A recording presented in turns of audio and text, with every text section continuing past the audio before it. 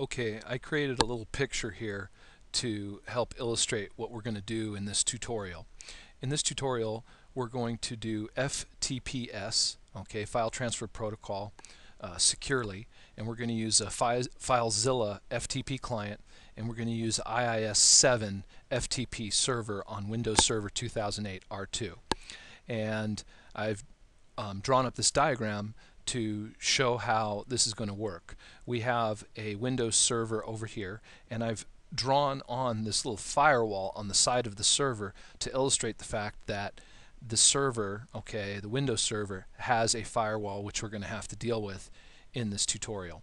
Okay, I've put the IP address where he's located. Notice that the server's on the 192.168.41.190 network it's hosting two websites and two FTP sites, mountzion.com and dan.mountzion.com. Okay, so two separate sites that it's hosting, and we're going to want an FTP to both of those. Now, in previous videos, I configured uh, FTP, and we were able to successfully FTP to those sites. We were also able to successfully uh, get the websites for those sites. So those FTP accounts are the same directories as the websites that are being hosted by these two domains. Alright, then for this server, it has a in between the server and the client in this video. The client is at this IP address on a different network, and in between the two is a firewall router. Okay, and so, uh, and I put the IP addresses there. So, in the last video, what we were able to do is, in the last series of videos that is, we were able to connect with FTP to multiple domain sites, right? So we got that crossed off now. Now what we're going to do in this video is we're going to connect with FTPS using secure socket layer and transport layer security. Now in order to do that um, I've just off the top of my head think what are we going to need to do? Well we're going to need to enable SSL on the server on the IIS FTP server. We're going to need to make sure that we have a certificate or at least a self-signed certificate on the IIS FTP server we're going to need to open up the necessary firewall ports on both the server and the router to allow FTPS to go through. Now so far the ports that we've allowed through is just so far port 21 because in the previous videos we connected with FTP right and the router doesn't just have port 21 open it also has port 80 for websites and it has a mail port open because it's a mail server and all that but in the last series of videos we just opened up port 21 for FTP.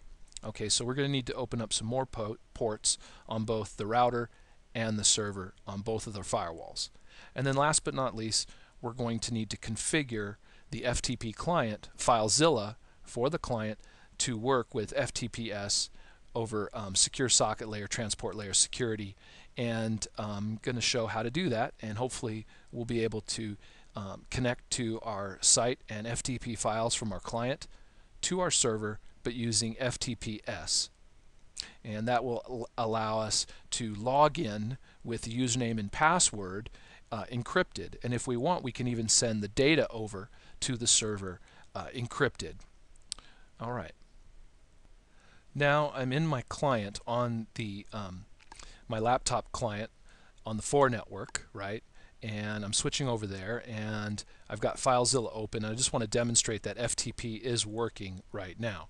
So I'm going to click here and open up these the site manager and I've created a site for um, mountzion.com and dan.mountzion.com right? And let me put that in there okay so if I click on mountzion.com here and you could do this by clicking new site you'll see I've put in the host mountzion.com the FTP file transfer protocol, which will go over port 21 automatically. Login type normal. I put the username webadmin and my password. And if I hit connect, you can see that it's successful. We get a directory listing right here, and we're able to um, FTP over to our site. So that's successful, right? So I'll just cancel that and clear that. So I just wanted to do that to prove that FTP is working. Now let's get FTPS working. And for that, what I'm going to do is I've got my server here. I've got a remote desktop connection to the server. So here's the server, and we're going to start with the default website. Notice I've got the server manager open here. Um, this is a Windows 2008 R2 server and um, I've got the server manager open and I've highlighted Internet Information Services under roles and now I've highlighted I'm going to highlight the default website. We'll start with the default website.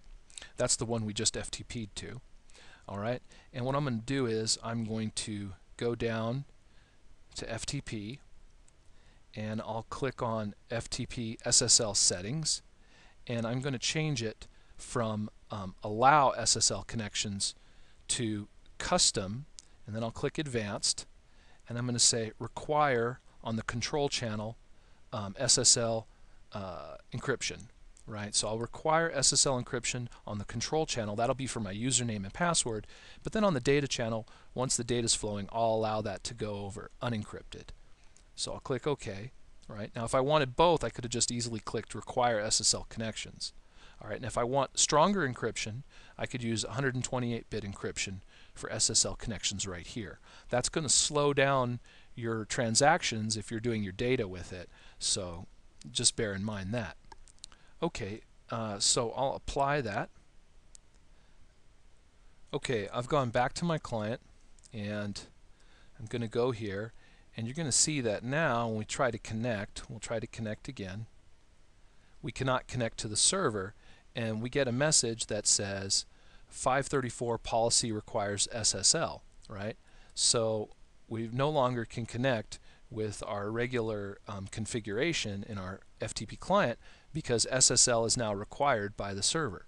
So what we're going to do is we'll open up our, we'll, we'll stop this and we'll open up the manager here, the site manager, and we're going to change this now from FTP, File Transfer Protocol, to FTPS and we're going to use explicit TLS SSL. Okay, and we've got that set up and everything else can stay the same and we'll click connect.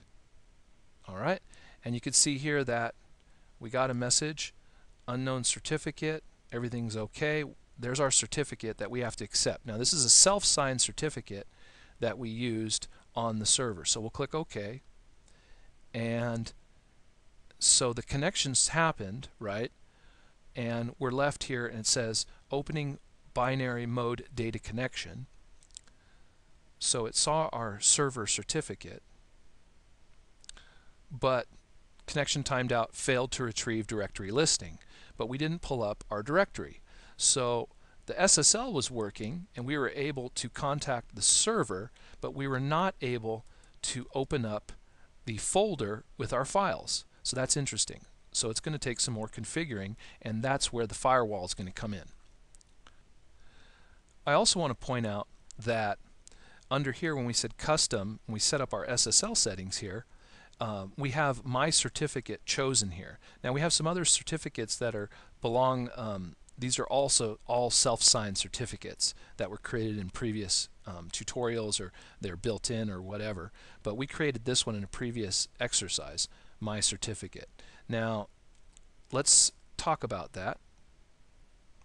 If we go to, let's say, and click on our server here, and we scroll down, the area to install a certificate or to create a self-signed certificate is under the IIS settings. You have to have your server selected here. Notice where I've, what I have selected.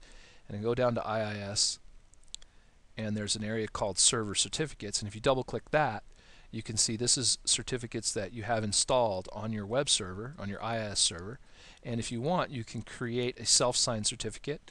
You can also create a certificate request here, and this certificate request will you will um, give to your registrar or your uh, your certificate authority if you wanted to purchase a certificate, let's say from VeriSign or one of the certificate vendors that um, certify websites and certify domains, and um, and you can get it from let's say you know nine dollars a year up to hundreds of dollars a year, depending on the certificate authority that you try to buy your certificate from.